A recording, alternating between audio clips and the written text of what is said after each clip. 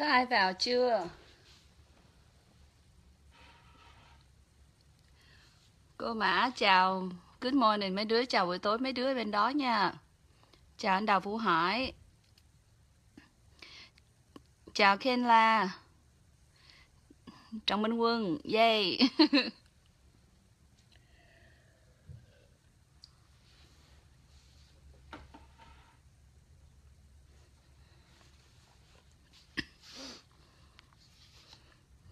Chờ cho mấy người vào chút nha.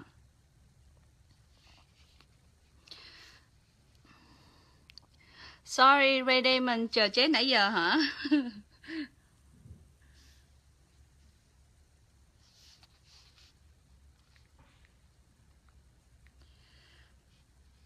Hồi sáng tới giờ có nhiều đứa vào trong cái trang của cô Mã.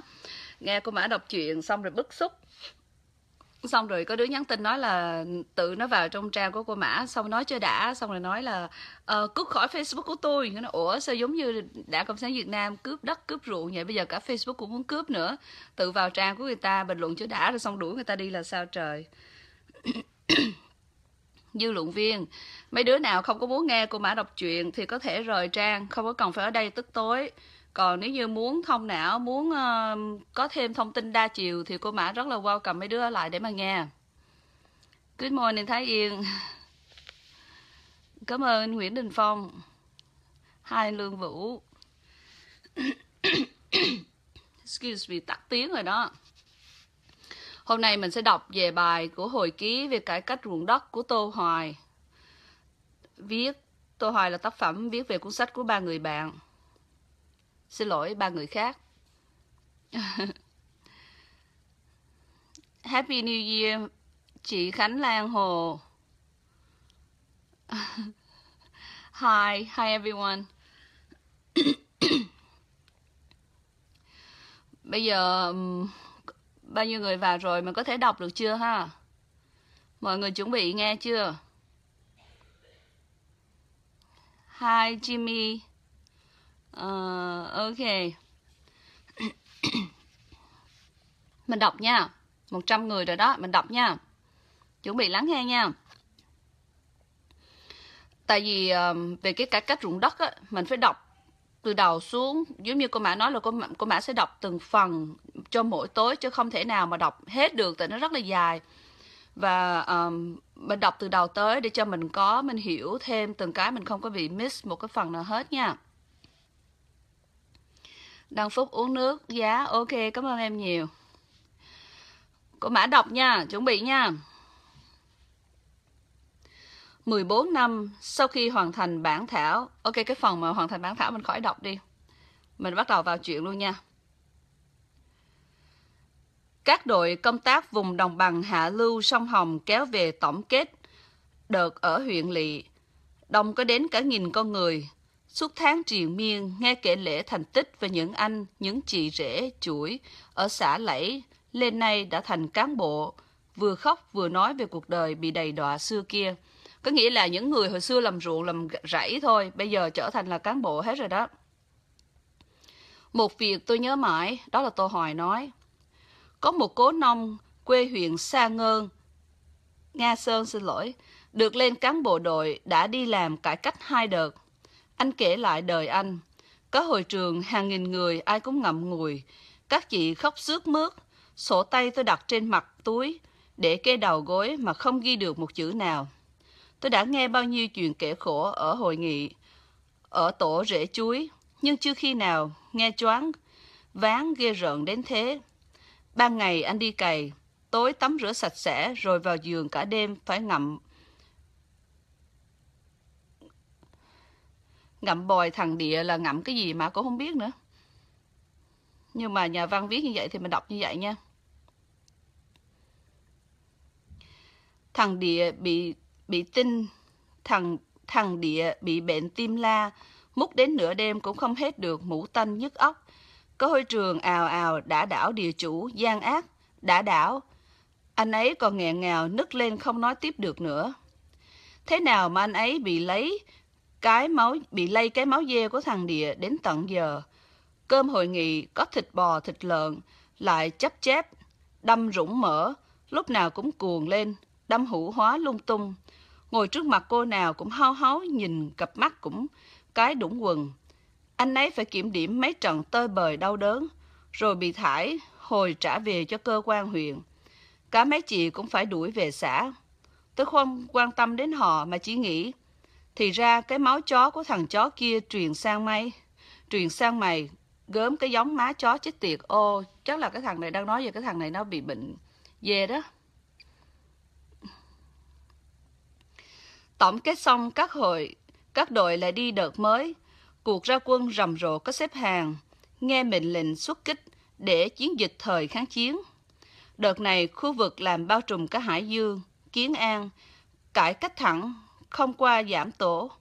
Nhiều huyện quanh Hải Phòng 3 năm trước là vùng 200 ngày tàu hỏa xuống qua ga Phú Thải, đã đến xào huyệt địch còn lại.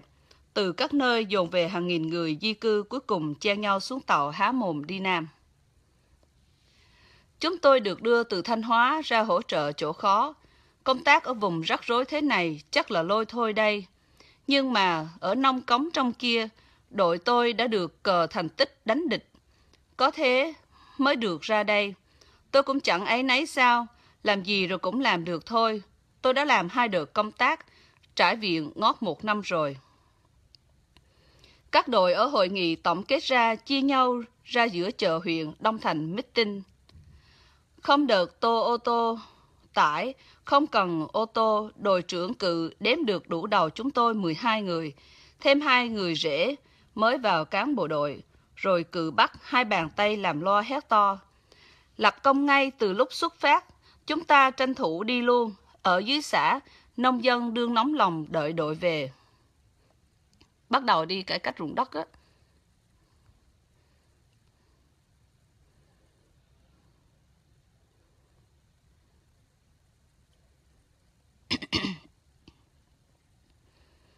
Mọi người đứng xếp hàng đôi, lưng đeo ba lô. Chúng tôi vẫn được nguyên đội ở Thanh Hóa, thành tổ học tập rồi đến bên. Sorry, nãy có điện thoại gọi vào phá đám của tụi mình á.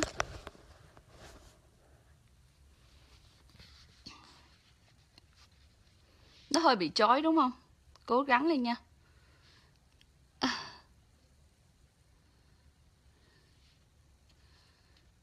Hai Kim Quy. Đâu rồi? Chạy đi đâu mất tiêu rồi? Ai đó gọi điện thoại vô phá đám mình á.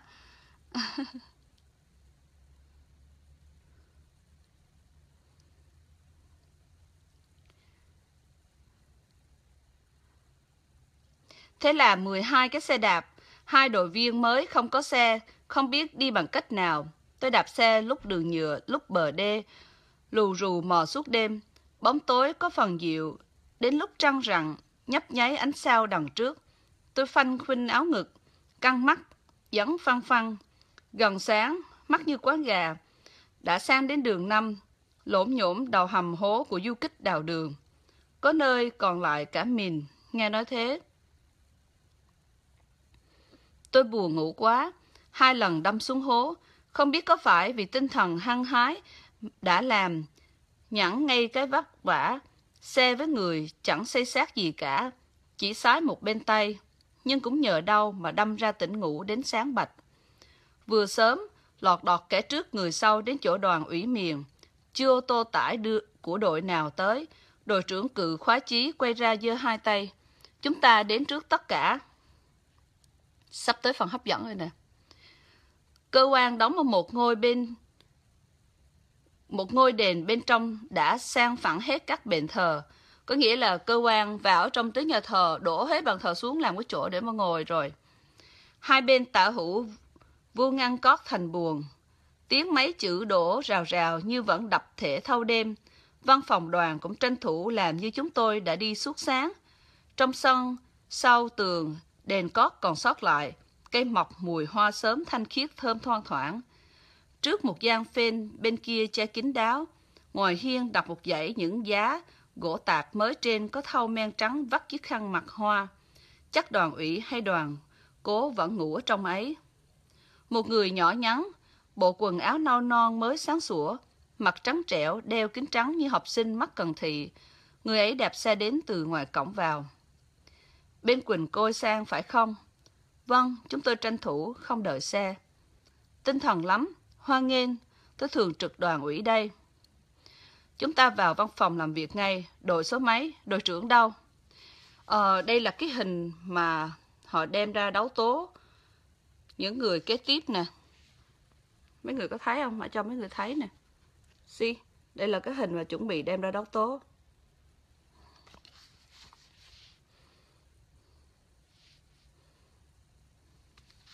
Không nghe rõ hả? Ờ... Tại sao không nghe rõ? Mấy người kia có nghe rõ không? Hay là chỉ có một mình Bích Trâm Lê nghe không rõ thôi? Cảm ơn anh Hùng Nguyễn, cảm ơn Cao Thị Kim Anh. Có thấy nhưng mà có nghe rõ không? Ok, nghe rõ. Ok. Nói tóm lại cái hồi ký về mà cái um, cải cách ruộng đất á, là ngay cả ông Trường Trinh cũng đem cha mẹ của mình ra để mà đấu tố. Trong cái cuộc chiến này chết rất là nhiều người. Ok mã thiên vương cảm ơn em nhiều nhưng mà tại vì đảng cộng sản việt nam á che giấu hết những cái chuyện này họ không có bao giờ họ nói ra hết. Họ dạy trong trường cho các em á là những cái nào là ồ, bác hy sinh bác tuyệt vời bác bác này bác kia nhưng mà sự thật không có bao giờ nói. Cho nên ngày hôm nay cô mã không có phải là đem cái chuyện của người chết ra để mà nói tới nói lui với tụi em. Nhưng mà cô mã muốn tụi em có được cái cái những cái um, về lịch sử là mình phải nói sự thật. Thì các em tự chọn cho mình cái con đường của các em muốn đi như thế nào, muốn hiểu như thế nào. Ngoài những cái giờ mà cô mã đọc về cả cách ruộng đất hay là sự thật về Hồ Chí Minh, mình có được những lớp đạo đức nữa. Mình có những lớp làm sao mà cư xử. Mình có những cái bài chia sẻ làm sao cư xử với người trong nhà, làm sao để cha mẹ thương yêu con cái, làm sao con cái cảm thấy gần gũi với cha mẹ của mình. Đó là những cái mà cô mã muốn chia sẻ mà trong trường học của tụi em hiện tại bây giờ không có hề dạy những cái phần đó cứ thấy đụng nhau là đánh nhau.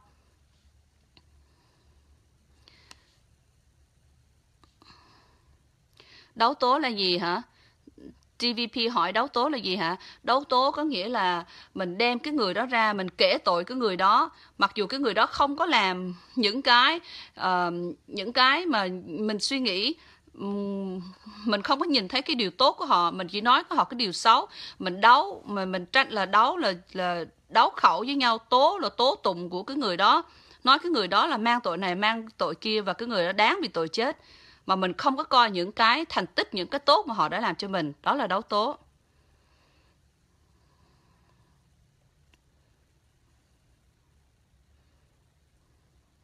Đây là cái thông tin đa chiều.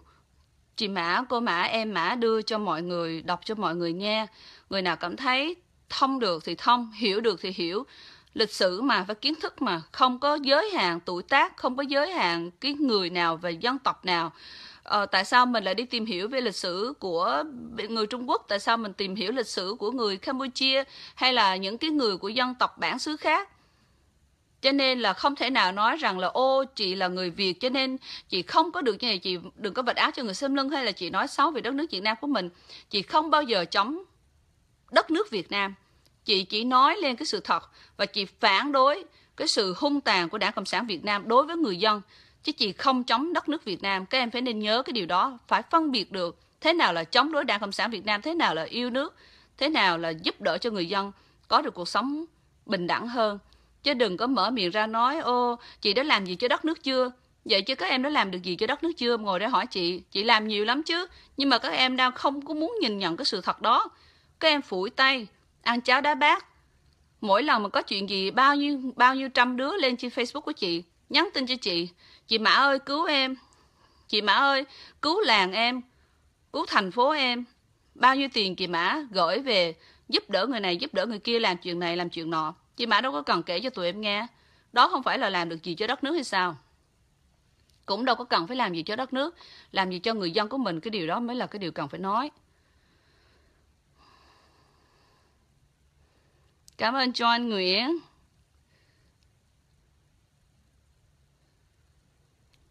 Yêu nước thì quay về nước Việt Nam mà. Đâu có cần quay về nước Việt Nam. Ờ, yêu nước ở chỗ nào cũng yêu được, làm cái gì cũng có thể yêu được, ngay nằm ở trên giường ngủ cũng có thể thể hiện được cái tinh thần yêu nước, em có hiểu hay không yêu nước hay không là ở trong trái tim, ở trong cái đầu của em kìa, chứ không phải là về tới nước Việt Nam mới là yêu nước các em sống ở ngay trong nước Việt Nam đó, các em đã thể hiện được yêu nước hay chưa Trung Quốc nó vào tới nơi kìa, nó đánh, nó nó cướp dân kìa. Bao nhiêu tin nhắn gửi vào cho chị. Trung Quốc đã tới Cà Mau, Trung Quốc tới Bạc Liêu. Trung Quốc tới Bến Tre. Tụi em ở trong nước nó tụi em thể hiện cái tinh thần yêu nước đi. Đừng có kêu chị là phải về nước mới là yêu nước. Tào lao, chị về một năm hai lần đó. Tụi em có giỏi, tụi em qua đây đi. Võ trinh cảm ơn võ trinh nhiều về hoài rồi đó thôi, còn đừng có hăm dọa chị. Ô, đừng có để tôi gặp mặt chị nha. Cái cái cái câu nói mà mắc dạy của cái tuổi mà dư luận viên hay là tuổi trẻ của tụi em á, nói không có cần biết người nào lớn nhỏ như thế nào hết đó chỉ vào trang của chị là chửi, là đòi đánh, đòi giết. Tụi em làm được cái điều đó hay không? Không có làm được thì đừng có nói. Giống như chị mã nói, chị mã đọc sách, thì chị mã sẽ đọc sách cho tụi em nghe. Chị mã nói, chị nã, chị mã đưa sự thật về lịch sử cho tụi em là chị mã sẽ đưa còn tụi em hù giết chị mã hả? Qua tới đây giết. Chị mã về tới việt nam đó. Mấy chục người công an bốn mươi người công an bắt chị mã đó. Có ai giết được chị mã chưa? Mà tụi em là cái gì mà tụi em hù dọa chị Mã? Mà chị Mã sợ sao? Nếu như mà không muốn chị Mã nói nữa đó, thì họ may năn nỉ, ô, chị Mã ơi, làm ơn, please. Đừng có nói nữa, em nghe em đau lòng. Thì họ may chị Mã suy nghĩ lại. Chứ còn mà hăm dọa, ô, tôi mà gặp cô, tôi giết cô chết. Chị Mã đưa địa chỉ cho tụi em giết nè giết được hay không? Giết một cô mã này sẽ có nhiều cô mã khác xuất hiện nữa. Tin chị đi.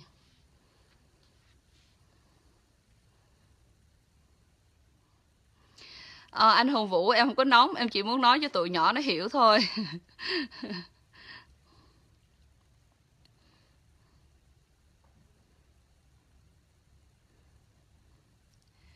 Cứ ngồi đó mà phải là yêu nước chị có phải là người việt hay không? Có những cái câu hỏi vớ vẩn như là chị có còn là người việt hay không, chị sanh ra đâu? Chị sanh ra đâu chị biết chứ. Chị có yêu nước hay không chị biết chứ. Còn tụi em có thể hiện cái cách yêu nước của tụi em đi. Không phải là đi chửi chị là tự nhiên đất nước Việt Nam nó còn tồn tại ngồi đó cho tụi em, dân tộc Việt Nam của mình còn ở đó. Cái mà mình làm là làm sao? Để nói cho nhà cầm quyền thức tỉnh mà bảo vệ người dân. Đừng có đừng có bao che cho tụi Trung Quốc nữa. Tại sao người Trung Quốc họ vào nước của mình đem tất cả những thứ độc phẩm vào? Được miễn phí hết đi xe lái xe rất là bình thường làm những cái gì mà nó muốn nó coi người Việt của mình không là một cái gì hết bao nhiêu tin nhắn gửi cho chị nó đánh luôn cả người Việt của mình Trung Quốc qua tới nước Việt Nam đánh người Việt của mình Tụi em đã lên tiếng chưa? Nhà cầm quyền Việt Nam đã lên tiếng chưa? Đó, đây là những cái lúc mà tụi em thể hiện cái tinh thần yêu nước đó, bảo vệ dân tộc đó, tụi em làm đi. Còn ngồi ở đây mà lên trên Facebook, ồ nó chém gió đòi đánh chị. Đánh một mình chị để làm gì chứ? Mà đánh không có được, nói không mà không có đánh được.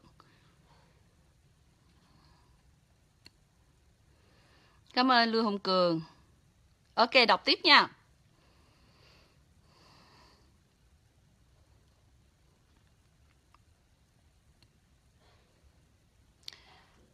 người đoàn viên bước lên thềm dõng dạc. Các đồng chí, bắt đầu từ hôm nay, đội đã vào cuộc đấu tranh công tác ba cùng ở dưới xã, bà con nông dân khổ cực lắm. Chỉ bọn bóc lột mới có xe đạp. Wow, dân bóc lột là dân có xe đạp đó. Đứa nào mà có chiếc xe đạp là thành dân bóc lột đấy nha. Mới thảnh thôi, ngồi mát bát vàng, chúng ta về với nông dân không để đồng sàng dị mộng, không được đi xe đạp xuống xã. Uh, cải cách ruộng đất để làm cho con người trở thành người thượng cổ hết. Đi xe đạp là xa xí phẩm đó. Các ông đoàn ủy mặt mày học trò bé lót chất mà hát thế. Tôi chưa bị đoàn ủy nào bắt không cho đi xe đạp xuống xã. Dễ chừng vùng địch tạm chiến cũ lại là lại làm cải cách không qua giảm. Tô thì phải khác cũng nên Thế là mất cả tiếng đồng hồ. Người tìm tước, bẻ chuối, người ra chặt cây dướng, bắt về vỏ, về thừng. 12 cái xe đạp đang trói gô lại thành một bó. Khiêng vào trong đền, lên khen như đóng xương trâu. Điều bất ngờ ấy, có đội trưởng cự cũng không tưởng ra trước được. Tuy nhiên, lúc kế vào cổng lô xe, đội trưởng vẫn mặt đỏ gây hăm hở. Không hiểu đội trưởng nghĩ gì, Chỉ khoái hai anh rể đội viên mới không phải chạy theo như cá đêm, tự dưng được đi cùng. Qua chợ huyện, ai nấy đói lử, nhưng bụng mình, mình biết thế thôi. Trong vào cái chợ mùa đói, nháo nháo không biết đâu người ăn mày hay người mua bán. Wow, cái thời điểm đó con người của mình đói mà ra chợ mà không biết người nào là người bán ở chợ, người nào là ăn mày.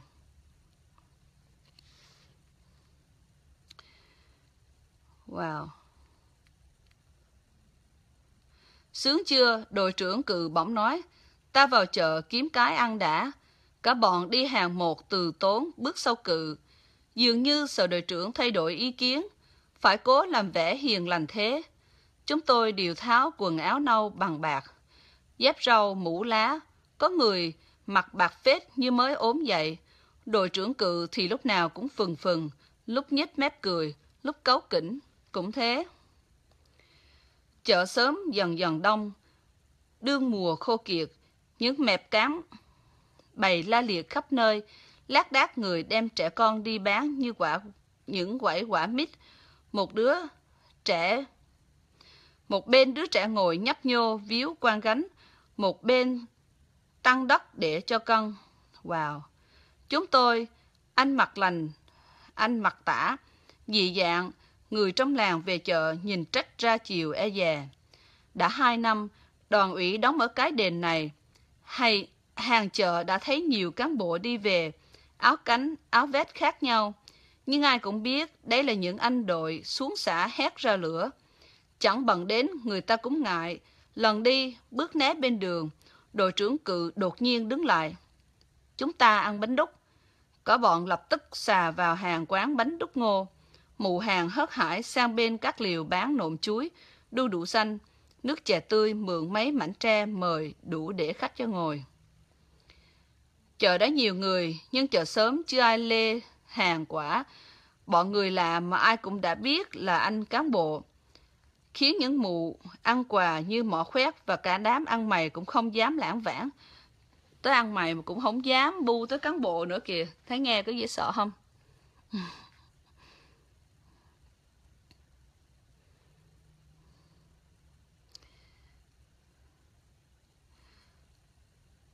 Từng chiếc bánh ngô lưỡi mèo vàng hay, giữa rốn mỗi chiếc đặt mẩy cháy vàng rộm Một bát đàn tương mặn chát.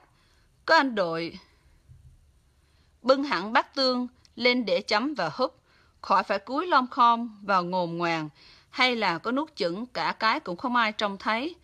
Anh đội cũng đói như mọi ai. Có người hỏi băng quơ, bánh ngô chấm tương à? Mụ hàng trả lời ngẩn ngơ như nói giữa trời. Thời buổi khó khăn lắm, hạt vừng cũng là hạt vàng đấy. Chẳng biết khó khăn thế nào, cái bánh ngô xây bùi bùi ngọt ngọt, vả lại đương đói móp bụng. Năm ấy tôi ngót 30, từ tấm bé chỉ ở thành phố, đến tuổi đi làm, kiếm được chân giữ cửa trong kẻ cấp cho hiệu thịt bò, sáu phan dông phố tràng tiền. Cách mạng thì vào từ vệ phố, đến lúc kháng chiến không còn đội từ vệ nữa. Nhưng từ cho mình đã là Việt Minh, tôi đi theo kháng chiến lên Việt Bắc. Những chuyện tôi đi được cũng là gian nan.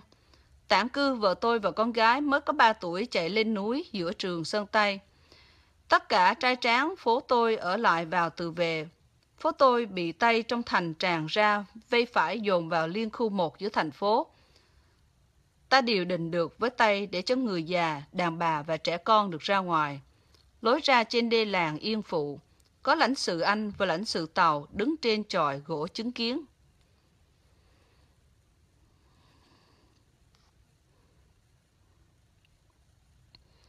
Tôi trốn đội tự vệ trà trộn trong đám người lố nhố ra. Trời lạnh tôi chích sùm sụp cái khăn vuông mỏ quà giả làm bà già, đi qua ngay trước mặt các ông lãnh sự trong trạm kiểm soát dòm ra. Tôi thoát được, lên núi tìm vợ con, hỏi thăm cả làng, cả cái chợ dời tản cư, về sau gặp người mới biết, đã bảo mẹ con cô ấy theo người ta vào Hà Nội rồi. Tôi chẳng biết đi đâu, cũng không dám về.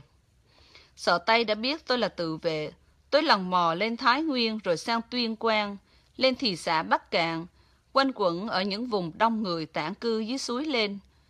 Cũng không có vốn mở hàng quán, tôi xin vào làm phát hạch sách báo và cơ quan bấy giờ để đến xin việc cũng được nhận ngay.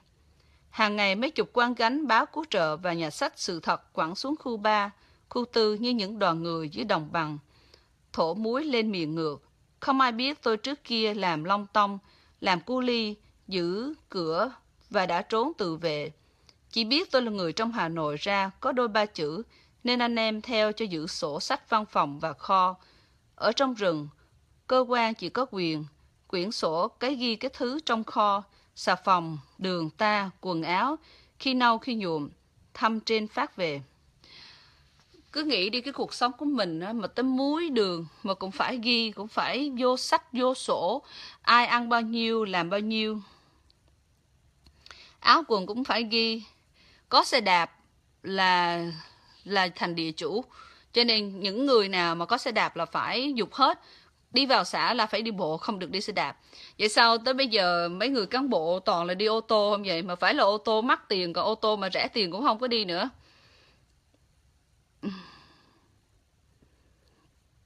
Đúng rồi cuối cùng cái vụ cải cách ruộng đất này á là giết khoảng hơn 200 200 ngàn người đó.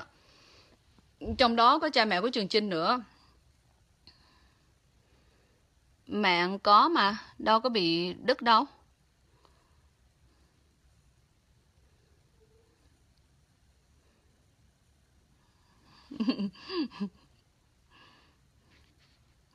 Đúng rồi, mẹ Ngân á, đi cứu trợ thì đi bằng xe rồi uh, đi chiếc chiếc tàu uh, chiếc cái thuyền nhỏ thì cũng phải có người uh, mang về bút rồi mặc áo mặc áo để mà bơi nước được không có chìm áo, áo phao. Rồi uh, phải có người quay phim chụp hình nữa đi cứu trợ mà giống như vậy đó.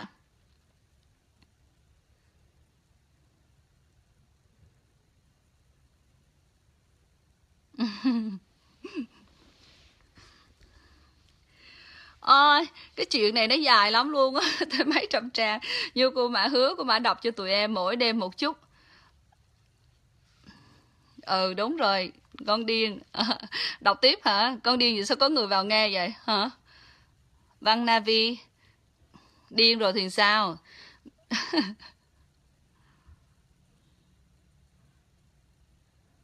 um, bây giờ mình có phải đấu tố tụi tụi nó mà? Mình không có cần đấu tố tụi nó đâu. Mình đấu tố tụi nó thì nó, tụi nó nói mình cũng ác giống như tụi nó thôi. Để cho lương tâm tụi nó um, vài bữa nữa Trung Quốc nó vào nó chiếm nước rồi á cái tự tụi nó trả trả giá với nhau à. Đừng yên tâm đi đừng có lo. Hai lý thiên mã. Ok đọc nữa hả? Rồi ok đọc nữa. Ây à. đọc tiếp nha hay quá mà, đúng không?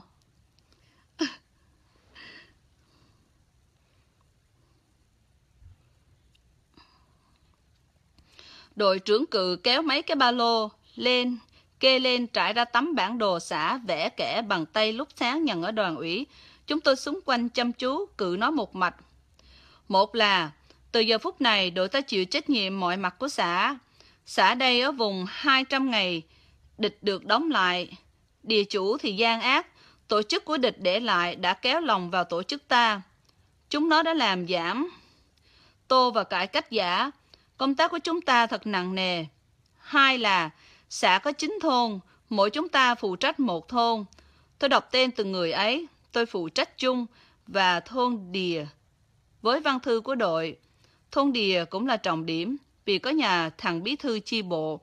Các đồng chí xem bản đồ rồi tự tìm đường về xóm không được hỏi han lung tung. Coi chừng tay sai địa chủ và tổ chức cũ sẽ đưa vào, đưa người vào, nó bố trí sẵn. Kể từ bây giờ, các đồng chí về vị trí chiến đấu dưới thôn cẩn thận, cảnh giác không được liên lạc với tổ chức cũ.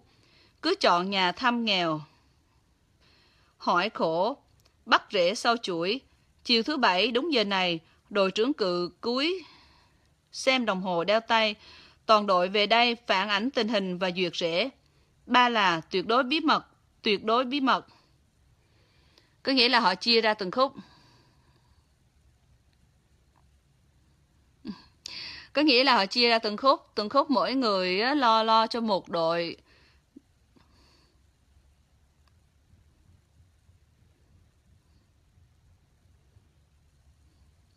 Mọi người đứng dậy, xốc ba lô lên vai. Anh hai đội cán bộ cơ sở xã lên, nách kẹp một một năng tài liệu, sách nắm đi ngay. Họ háo hức như được về xã về nhà, mà họ tự nhiên như thể cũng chẳng là chỉ có tôi mới là phải lo lắng loanh quanh chẳng biết chốc nữa vào nhà ai. Có bắt được trúng rễ không? Đội trưởng cừ một tay xua xua không biết là cản lại hay là bảo đi. Một tay nắm đấm hô. Vì giai cấp nông dân quyết chiến thắng, chiến thắng. Tiếng đáp lại rập một cái. Quyết thắng, quyết thắng. Tôi thấy đội trưởng xách ba lô lên, sờ vào mép, rồi nắm lại lần nữa. Mất mẹ nó rồi, nhưng mặt vẫn bừng bừng như lúc đương nói, không khác.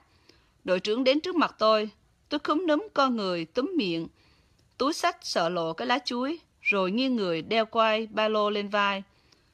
Không phải đội trưởng tò mò gì về tôi, mà cự đến bắt tay từng người. Tôi kẹp chặt cái túi trong có gói bánh đúc ăn trộm rồi mới dơ bàn tay ra. Trong cặp có cái lá chuối, có cái miếng bánh đúc thôi mà cũng sợ bộ đội thấy nữa. Nó... Rồi nó bắt mình nữa đó. Đội trưởng bảo, đồng chí đợt này được trên cử làm đội phó phụ trách tòa án, cố gắng nhé. Tôi nhẹ nhõm nắm tay cự, mỗi người vào cái xóm một ngã, chỉ có đình rảo bước theo tôi. Tôi hỏi, cậu về cùng lối với mình à? Lúc đó chỉ còn hai ba người, chúng tôi thường cậu cậu tớ tớ. Chỉ có mấy anh ở bên xã lên vẫn nghiêm túc, đồng chí, như khi họp. Riêng với đội trưởng tác phong quân sự thì không mấy khi dám cợt nhã, lúc nào cũng đồng chí, cẩn thận. Đình đáp, mình phụ trách xóm chuông, làng diền cậu.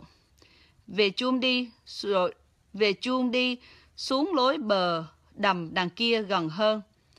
Thế sao lại đi lối này? Đình cười hết cái mũi đỏ. Đi vài bước cho nó vui mà. Tôi ừ hử nhạt nhẽo. Đình ghé tai tôi nói nho nhỏ. Này, chia cho tớ bánh đúc với. Ông anh nhanh tay quá đấy, tớ nhìn thấy trước đằng ấy cơ. Ồ, oh, thì ra là anh Đình này muốn đi theo cái anh này là tại vì cái anh này có cái bánh đúc. Hồi nãy á, là cái anh này uh, giấu cái bánh đúc ở trong cặp cho nên là sợ anh bộ đội của ông cự sợ ông cự thấy chị đề là rất là sợ, nhưng mà tới bây giờ thấy anh đình đi theo mình, tưởng là mình có bạn, tưởng hai người là đồng hành chung với nhau. Nhưng mà thì ra là tại vì cái anh này thấy cái anh kia có cái bánh đúc, cho nên là muốn đi theo đòi chia cái bánh đúc. Thấy cái gì cũng đòi ăn hết đó dễ sợ không? Connection is weak, hả? huh?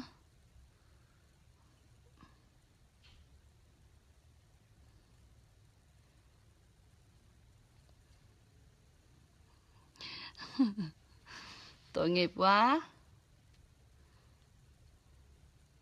Còn hai trang nữa nha, đọc tiếp nha. Tôi ơ mặt như đứa ăn cắp bị bắt tại trần, mà thật thế, còn gì nổi, còn còn như nổi gì, gói bánh có bốn chiếc, tôi lẳng lặng lấy ra đưa cho Đình hai cái, nhìn theo hút lúc ấy của đội trưởng cụ đã khuất vào bờ tre. Bỏ bánh lên túi ba lô đi, rồi Đình cũng tất tả về phía ấy. Ôi trời, nó đi báo cáo thì toi mạng. Nhưng tôi là dừng, dẫn dưng ngay. Nó nói ra thì nó mất bánh, mà đội trưởng đã định ăn vùng. Đội trưởng trù, cho thì có chết cũng đỡ. Tôi lững thững vào thôn An, đi bắt rễ khác, nào đâu. Còn chưa tối mới chạng vàng mà bước trước mặt sau lưng vắng tanh. Chiều chiều thông thường, lúc này cổng đồng có người đi làm về. Những con trâu bước thông dong, đang vịt rút bờ ruộng chân tre, trẻ con đương vào, đương vác xào ra dồn về. Thế mà đường vào xóm và quằn quẻ, tưởng như không có cả con chuồn chuồn chập chờn, con nhẹ nước loan quăng. Ít ngày sau tôi mới biết được cả mấy thôn này đã được biết tin đội về từ lúc đội còn ngồi ăn bánh đúc ở trên huyện. Thế là gà, qué, chó má, trâu bò người ta tất cả nhốt chặt, cả người cũng không dám ló mặt ra ngoài ngõ thì ra nguyên cái làng này không có người cái uh, cái người này muốn tả lại là khi đi về trên cái con đường đó thì không còn một ai hết. Thì anh thấy vắng vẻ quá, anh thắc mắc là không hiểu là tại sao. Thì cuối cùng đó là khi mà mấy người vào trong làng, vào trong chợ mà ngồi ăn bánh đúc á, thì họ biết là bộ đội sắp về làng, cho nên dân làng đã nhốt hết. Gà, chó, mèo, cả người cũng không ai không ai dám ló mặt ra ngoài đường hết, tại sợ bị bắt. Như vậy đó có con Nguyễn Nguyên Phúc Nguyên Phước uh, cô có để cái link này ở trên mạng tụi con có thể nghe có thể tìm tự đọc được đó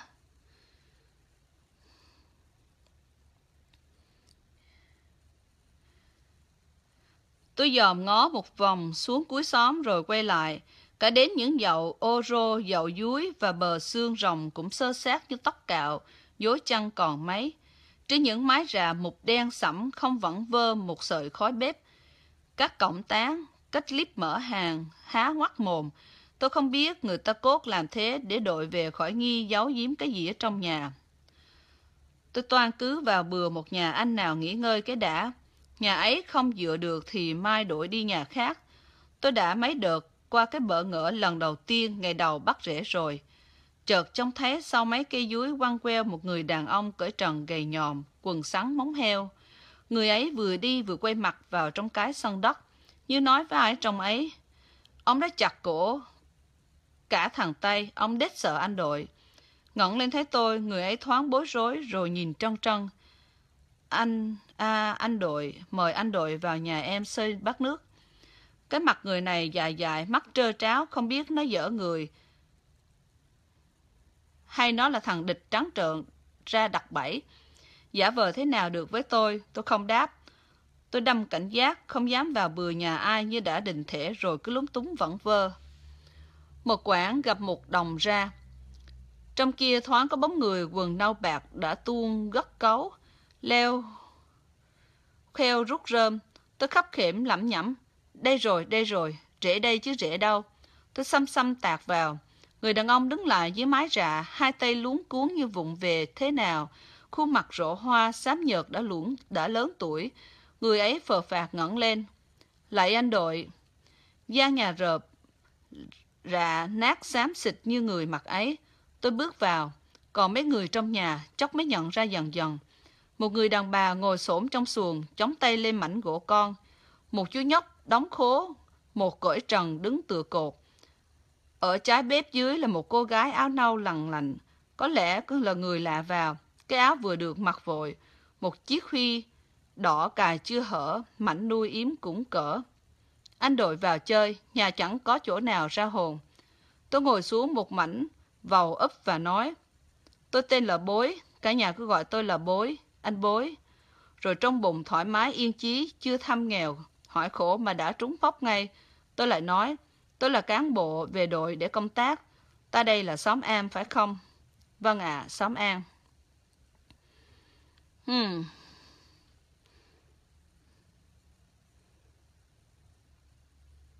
Ok Nguyễn Phước, con đi ngủ đi rồi ngày mai đọc tiếp. À, cô Mã đọc hết cái phần ngày hôm nay muốn đọc rồi không có muốn đọc nhiều quá đọc nhiều quá rồi tụi em uh, nghe không có kịp hay là có đứa nghe có đứa không có nghe cho nên mỗi ngày á, mình đọc một chút một chút để cho các em tiếp thu uh, bây giờ mình nói chuyện đi ha khỏi đọc nữa nha. Ngày mai đọc tiếp nha. Cảm ơn minh tôn. Nói chung là nhiều lắm. Cái này á, là theo như mà cô mã mỗi lần mà đọc một khúc như vậy là phải đọc 10 lần. Ừ, bây giờ mà đọc được một lần rồi là mình còn tới 9 lần giống như vậy nữa.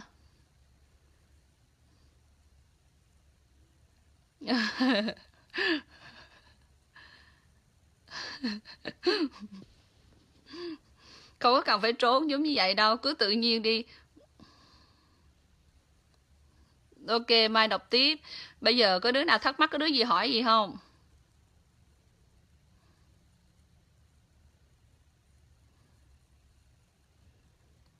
Có ai muốn hỏi gì không?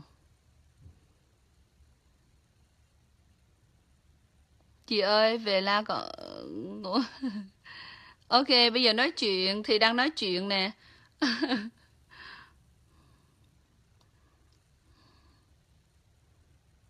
Bên em không nghe được hả Ngọc Nhung? À, khi nào chị Mã nói chuyện xong đó, chị Mã post lên trên Facebook em có thể vào đọc lại coi lại nha. không có sao đâu chị um... ok thì nói chuyện ok tv em đi làm đi rồi ngày mai nói chuyện tiếp ngày mai chị đọc tiếp cho tụi em nghe cái này là giống như chị mã hứa tại nhiều đứa không có đọc được cho nên là chị mã nói là chị mã đọc cho tụi em không có sao hết trơn nó không có cực khổ gì hết á. Đứa nào mà thông não được đứa nào mà học được chữ nào thì hay chữ đó. Nhưng mà năm mới năm 2017 tới rồi chị Mã khuyên tụi em á là giống như là mình phải uh, uh, cảnh giác hơn. Mình phải uh, khi mình mình lên trên Facebook mình không phải là chỉ lên để mà um, khoe hình hay là um, tán ngẫu nói chuyện này nói chuyện kia mà hãy cố gắng tìm đọc những thông tin. Và khi mình có những cái thông tin mình coi thì mình phải ngẫm nghĩ mình phải suy nghĩ. Mình có cái đầu óc của mình để mà mình suy nghĩ chứ không phải là chỉ nói nói vào một cái là mình phản biện. Ô cái đó nói xạo cái đó nó không có đúng. Tại sao nếu như mà mình bình thường như vậy mà mình hiểu được là nó xạo tại sao những người khác không có nhìn ra được xạo? Không lẽ mình khôn hơn biết bao nhiêu người trên facebook hay sao? Đúng không? Cho nên khi mà mình thấy một cái thông tin gì đó, mình phải nghĩ tới cái vấn đề đa chiều, mình phải chịu lắng nghe. Phải học hỏi, phải tìm hiểu thêm.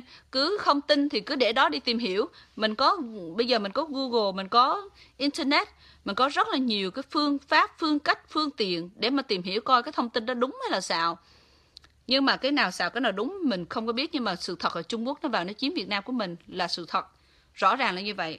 Các em không tin, các em cứ coi vòng vòng đi đó là tin tự trong nước đưa ra. Và các em nghĩ rằng là chị Mã phản động, chị Mã nói này nói kia để hại đất nước Việt Nam. Chị Mã không có hại được. Đất nước ở Việt Nam chị Mã không có hại được. Chị Mã cũng chưa bao giờ có ý định muốn hại cái đất nước Việt Nam. Mà chị Mã đang đưa truyền tải cái thông điệp, cái thông tin mà các em cần phải biết. Các em trong nước, các em cần phải biết. Đây là những cái cái tin tức, những cái thông tin mà chị Mã nhận được từ người Việt sống ở trong nước chứ không phải ở hải ngoại. Tại sao người Việt của mình ở trong nước lại muốn đứng lên nếu như mà đất nước mà bình yên, hạnh phúc. Giống như các em nói như vậy thì tại sao người dân ở trong nước lại phản biện, lại đứng lên, lại muốn thay đổi cái cuộc sống này? Các em phải nhìn nhận cái điều đó. Các em coi trên Facebook đi, những người mà chửi chị là những người ở trong nước và những người binh vực chị cũng là những người ở trong nước.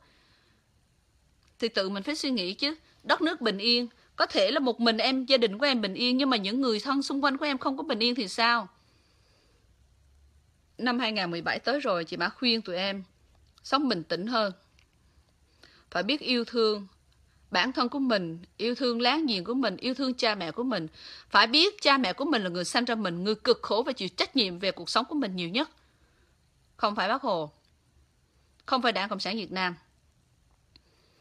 Tại vì em nghĩ đi, nếu như mà Đảng Cộng sản Việt Nam mà chịu trách nhiệm về cuộc sống của em á, thì họ đã cho em cơm ăn áo mặc đầy đủ rồi. Không phải cha mẹ của em cực khổ mỗi ngày đi ra đồng, ra ruộng, đi ra chợ buôn bán, chạy đôn, chạy đáo, phải mượn tiền với tiền lời cao để mà về nuôi các em cho các em ăn học, rồi các em đi đến trường học được những cái gì? Học về chửi thầy, chửi cô, học về chửi cha mẹ anh chị em.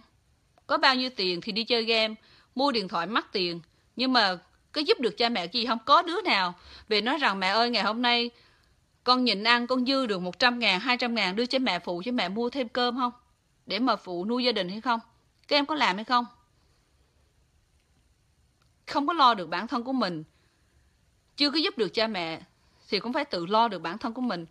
Cha mẹ sanh con ra chỉ muốn cho con có một cái kiến thức rõ ràng để nhận định sau này tương lai của con.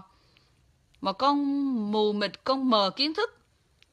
Con không phân biệt được đâu là đúng, đâu là thật con sống con không biết kính trên, kính dưới. Lúc nào cũng có một cái chữ mắc dạy với lời chửi thề, cờ lờ đờ mờ gì đó với những người ngoài, với những người lớn tuổi hơn mình. Thì cuộc sống của các em sau này như thế nào? Con cái của em sau này như thế nào? Đó là những lời khuyên thật tình của chị mã nói với tụi em. Tụi em mới cố gắng lắng nghe đi.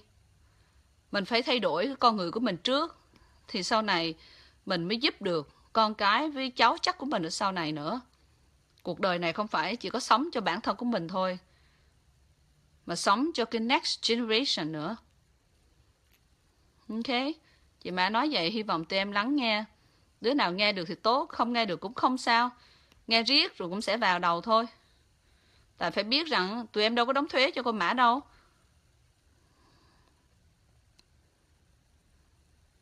Tại sao cô Mã phải ngồi đây nói với tụi em để làm gì? Trong khi tụi em đóng tiền trường, đi học, mới vào đầu năm thì bắt đóng tiền này, tiền kia, tiền cá chết. Ở ngoài miền Trung, ai làm? Formosa làm, nhưng mà tụi em cũng phải đóng tiền để mà cứu dân ngoài đó. Ai xả lũ giết hại dân? Là nhà cầm quyền xả lũ giết hại dân, nhưng mà tụi em phải là những người đóng tiền để mà giúp đỡ những người dân đó. Có đứa nào đóng một đồng nào cho cô Mã đâu. Tại sao cô Mã phải ngồi đây nói với tụi em nhiều để làm gì? Mà nói cô Mã là bán nước hay là muốn phá hoại cái dân tộc này? Người nào phá hoại phải biết dùng cái đầu óc, dùng cái suy nghĩ trái tim của mình để mới nhìn nhận cái điều đó.